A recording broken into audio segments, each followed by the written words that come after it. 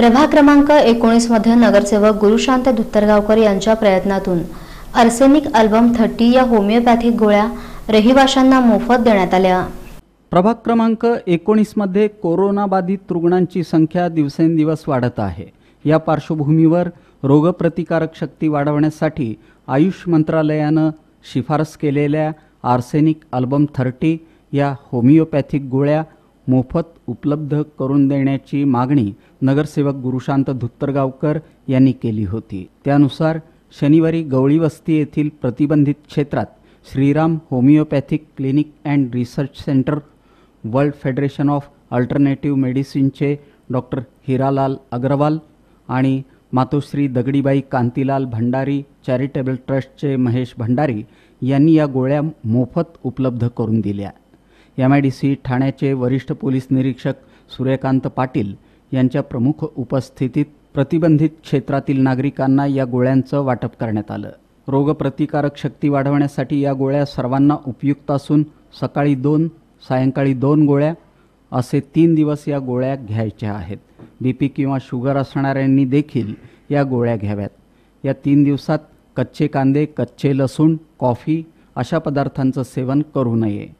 औषधी गोळ्यांचं सेवन करताना त्या गोळ्यांना स्पर्श करू नये अशी माहिती डॉक्टर हिरालाल अग्रवाल यांनी दिली. कुठेतरी आपण चुकतोय सगळी यंत्रणा जी काही चालू आहे ती कुठेतरी कमी पडत नाही आपण त्याला मदत करणं गरजेचं आहे. तर ही शक्य जे काही आहे सर गव्हर्नमेंटकडून जे काही चाललंय ते तर एक होमिओपॅथीचं औषध जे काही आयुष मिनिस्ट्रीने काढलेलं आहे ज्याची प्रतिकार शक्ती वाढण्याकरता आहे ते.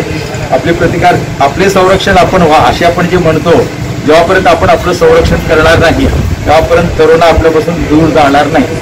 तर आपलं संरक्षण करण्याकरता ही रोगप्रतिकार क्षमता वाढवणारी होमिओपॅथी औषध आहे. तर ते तीन दिवस सगळ्यांनी घ्यायचं आहे. दोन वेळा दोन वेळेला मोठ्यांनी लहाननी दोन वर्षाच्या आत एक गोळी दोन वेळेला.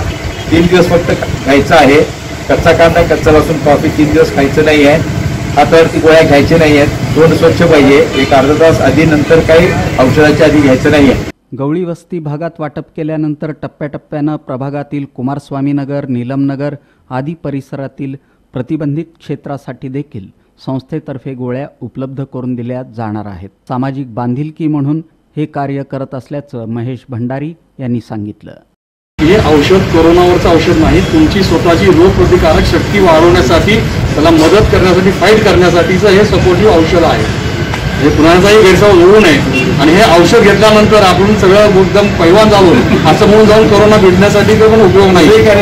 हे सगळे बाकीचे नियमावली जे काही सरकारने दिलेली आहे सर- सरांनी सांगितलेली आहे सर्वांनी सांगितलेली आहे ती संपूर्ण नियमावली फॉलो करा. त्यांनी जे दिलेले पथ्य सांगितले आहेत जो काही आयु मंत्रालयाने दिलेला आहे तुम्हाला सर्वांना सूचना.